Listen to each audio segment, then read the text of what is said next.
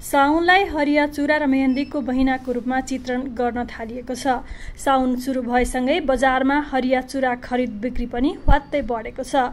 राजधानीको असन इन्द्रचोक यसै पनि ग्राहकहरूको भिडभाड हुने क्षेत्रमा पर्छ।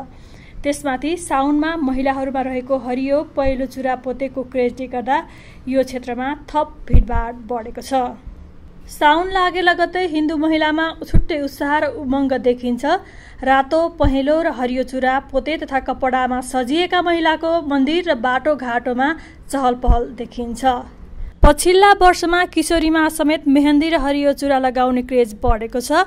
धेरैले धार्मिक विश्वासमा यसो गरेका छन् भने कतिले फेसनका रूपमा। खास गरी साउनको सोमबार शिवजीको व्रत र पूजा गर्ने चलन भए पनि साउनका सबै दिनलाई उत्तिकै महत्त्वका साथ हेर्ने गरिन्छ। साउनमा हरियो पहेँलो र रातो चुरा पोते एवं कपडा लगाउनुको पनि आफ्नै अर्थ छ। हरियोलाई प्रेमको रातोलाई सौभाग्यको एवं पहेँलोलाई पवित्रताको प्रतीकका रूपमा लिइन्छ।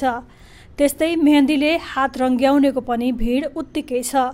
साउन महिनामा हातमा आकर्षक डिजाइनमा मेहन्दी लगाउनेहरूको सङ्ख्या पनि बढिरहेको छ। रातोपाटी टिभीका लागि सुभाष श्रेष्ठको रिपोर्ट।